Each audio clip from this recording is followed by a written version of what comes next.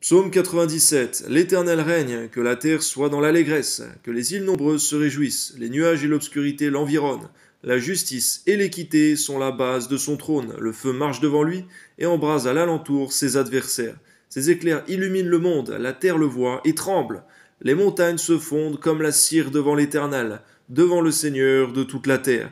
Les cieux publient sa justice et tous les peuples voient sa gloire. Ils sont confus, tous ceux qui servent les images, et qui se font gloire des idoles. Tous les dieux se prosternent devant lui. Sion l'entend et se réjouit. Les filles de Judas sont dans l'allégresse à cause de tes jugements, ô Éternel, car toi, Éternel, tu es le Très-Haut sur toute la terre. Amen.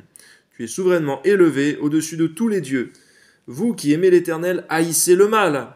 Oui, Seigneur, c'est une ordonnance également, Seigneur, ainsi que dans le Nouveau Testament, tu ordonnes de haïr le mal. Car la haine du mal, c'est la crainte de l'Éternel de l'Éternel, c'est la haine du mal. Amen. Il garde les âmes de ses fidèles, il les délivre de la main des méchants. Combien ça nous encourage à être fidèles envers toi, Seigneur, et ton alliance. Amen. La lumière est semée pour le juste, et la joie pour ceux dont le cœur est droit. Juste, réjouissez-vous en l'Éternel, et célébrez par vos louanges sa sainteté. Alléluia. Oui, Seigneur, nous célébrons ta sainteté. Toi seul, Seigneur, tu es saint. Saint, saint, saint est le Seigneur Dieu Tout-Puissant. Comme il est dit, Seigneur mon Dieu, dans l'Apocalypse. À toi soit la gloire, Seigneur, au nom de Jésus. Amen.